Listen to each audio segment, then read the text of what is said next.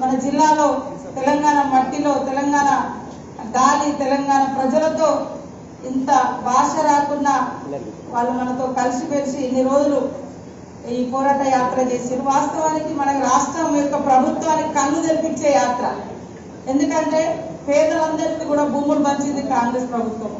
వినోబాబు భావే గారి యొక్క స్ఫూర్తితోటి నెహ్రూ గారి యొక్క ఆదేశాలు గాంధీ గారి యొక్క మరి ఆ స్ఫూర్తి ఇవన్నిటి ద్వారా భూములు పంచితే ఇప్పటి టీఆర్ఎస్ ప్రభుత్వం మొత్తం భూములన్నీ లాక్కుంటుంది మనం చూస్తున్న ఊర్లలో.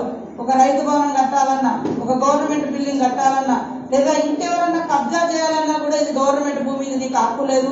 ఇది నా పట్టా అని ఎక్కడో పోయి వచ్చి ధరణి పేరుతోటి మరి పట్టాలు సృష్టించి ఇవాళ పేదల దగ్గర భూములు లేకుండా చేస్తున్నారు.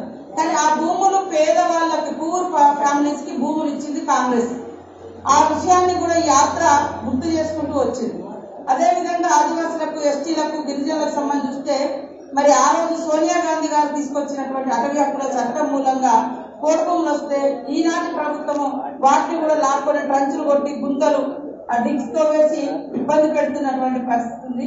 ఇవన్నింటిని కూడా గుర్తు చేసే విధంగా సెవెంటీ ఫైవ్ ఇయర్స్ ఉద్యమ భూదానోద్యమ స్ఫూర్తి తర్వాత ఇప్పుడు మన సోనియా గాంధీ గారు తెచ్చినటువంటి అటవీ హక్కుల ఆర్వైఎఫ్ఆర్ యాక్ట్ అదే విధంగా టిఆర్ఎస్ బీజేపీ ఈ రాష్ట్రాన్ని లూటీ చేస్తూ ప్రజలకు ఒక గుంట కూడా సెంటు ల్యాండ్ కూడా లేకుండా లాక్కుంటున్నటువంటి తీరును ఎక్స్పోజ్ చేస్తూ ఈ యాత్ర కొనసాగింది.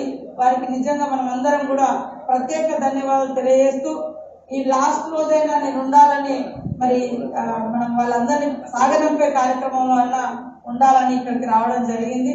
అందరం కూడా రేపటి వరకు ఉండి ఇంకా మన వాళ్ళని కూడా ఎక్కువ పెద్ద మొత్తంలో గ్యాదర్ పిలుచుకొని ఘనంగా వీడుకోలు పలుకుదామని ఈ సందర్భంగా తెలియజేస్తూ నాకు ఈ అవకాశం కల్పించిన మీ అందరికీ పేరు ధన్యవాదాలు.